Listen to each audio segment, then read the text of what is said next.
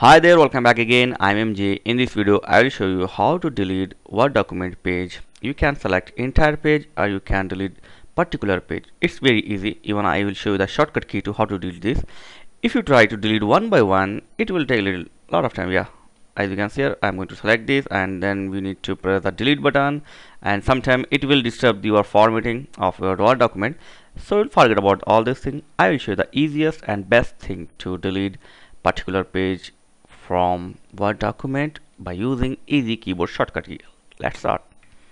So keep the cursor here. I am right now in the page 3. I'm as you can see here. This is the page 3. So I want to delete the page 3. Keep the cursor in the page 3 and just press Ctrl G. Don't be confused.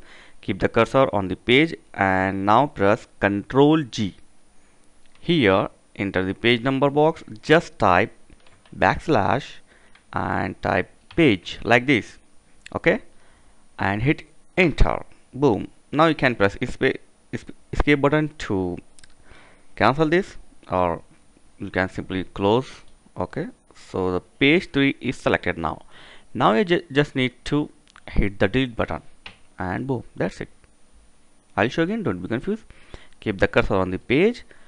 Press ctrl G and here type backslash and type page and hit enter. And now you can see the entire page is selected now. Just we need to hit the delete button. And that's it. Boom. So this is the way to delete your page from your word document without disturbing any formatting. And you can use a shortcut key like control G. So thank you very much. I i would like to say thanks to my all subscriber. I recently have i have completed 10,000 subscriber so thank you very much for your kind support your suggestion and your comments liking. Thank you very much. See you in next video